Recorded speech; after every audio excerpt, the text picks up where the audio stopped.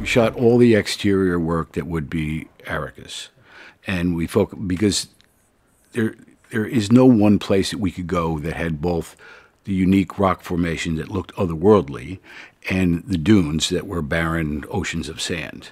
So in Jordan, we shot 90% of the exterior of Arrakis with the rocks, and then in the opposite direction will be the dunes that we'll shoot next week. Uh, the, the, the shooting experience there was fantastic. The, the, the production people were great. The Royal Film Commission and, and the, the royal family were tremendously supportive.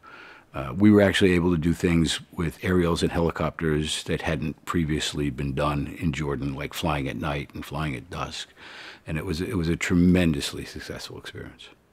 Shooting an entire sequence in Jordan from 4:15 p.m. till 7:15 p.m. and doing 18 setups because it's supposed to be night is something I've rarely seen, if ever. The Emperor asks us to bring peace to Arrakis. House Atreides accepts. This was my, I think, third time back in Jordan. I'd shot a number of projects there, and it, Jordan never gets tiring f- for me. And the light is absolutely unique in that place. The the surroundings, the color of the soil, the the sky, the everything about it. There's a, there's there's something in the air in Jordan. You can see spice in the air.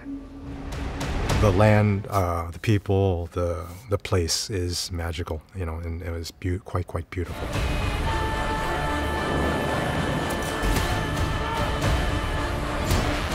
The other thing that's been remarkable here, having shot movies all over the world, is the spirit and the interaction of the international crews.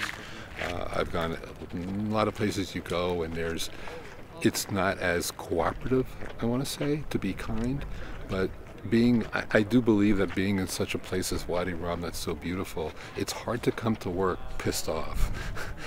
you would think that this crew has been working together for years, and we have people from probably a dozen different countries interacting with local Jordanians who've never worked together before, and it's just been a very calm, peaceful, um, very, very efficient set, unlike most that are out there, especially on international locations.